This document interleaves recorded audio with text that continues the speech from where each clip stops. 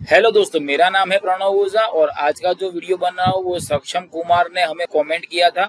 उनका कमेंट ये था कि, सर डिस्गाइज अनएम्प्लॉयमेंट और अंडर एम्प्लॉयमेंट दोनों एक चीज़ होती है क्या? तो मैं यहाँ पे आपको बता देता हूँ कि भाई उन्होंने यहाँ पे ये कमेंट किया था, sir what is the difference between disguise unemployment and under employment तो ऐसा है सक्षम की डिस्गाइज अनएम्प्लॉयमेंट क्या हो जाता है? डिस्गाइज अनएम्प्लॉयमेंट वो अनएम्प्लॉयमेंट हो जाता है जहाँ पे मुझे लगता है कि मैं काम कर रहा हूँ। लेकिन अगर मुझे निकाल दिया तो कोई इनकम में या तो घर की इनकम में या प्रोडक्शन में कुछ फ़र्क नहीं पड़ने वाला। मतलब मैं एक एक्स्ट्रा बंदा हूँ जो कुछ खास काम नहीं करता, लेकिन लोगों को लगता है कि मैं बहुत अच्छा काम कर रहा हूँ।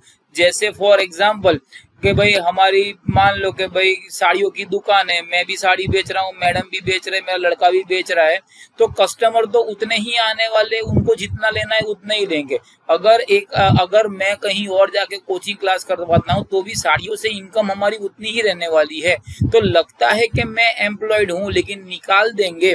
तो कोई फ़र्क नहीं पड़ेगा, ऐसे अनएम्प्लॉयमेंट को डिस्गाइज अनएम्प्लॉयमेंट कहते हैं। जबकि अंडर एम्प्लॉयमेंट में तो मैं खुद कहीं जा रहा हूँ जॉब करने। और वहाँ पे जो जॉब मिली है, मुझे मेरे स्किल के हिसाब से नहीं मिली है। मैंने एमबीए किया या सीए किया है और अकाउंटेंट की जॉब ले रहा हूँ।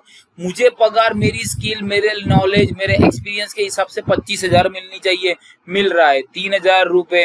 तो ऐसा है कि अंडर एम्प्लॉयमेंट में मेरे कैपेसिटी है आई कैन मतलब मैं ज़्यादा कमा सकता हूँ, लेकिन यार अभी पैसे कम, अभी या जॉब ही नहीं है, या तो मार्केट भी नहीं है तो मैं अंडर एम्प्लॉयमेंट हूँ। डिस्गाइज अनएम्प्लॉयमेंट में अगर मुझे निकाल दिया तो मेरी फैमिली इनकम को कोई जितना नहीं फ़र्क पड़ेगा। अंडर एम्प्लॉयमेंट में मेरे को निकाल दिया तो मेरा तो इनकम जो है वो ज़ीरो हो जाएगी। तो तो ये एक डिफरेंस है between under employment and unemployment के बारे में। होप आपके डाउट क्लियर हो गए हैं।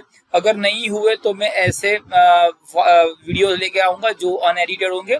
बनाने में भी टाइम नहीं लगता है तो अगर आपको कुछ ऐसा है तो आप कमेंट कीजिए। बंदा उस पर भी वीडियो बनाएगा। I wish you all the best for your exam goodbye God bless you and जय हिंद।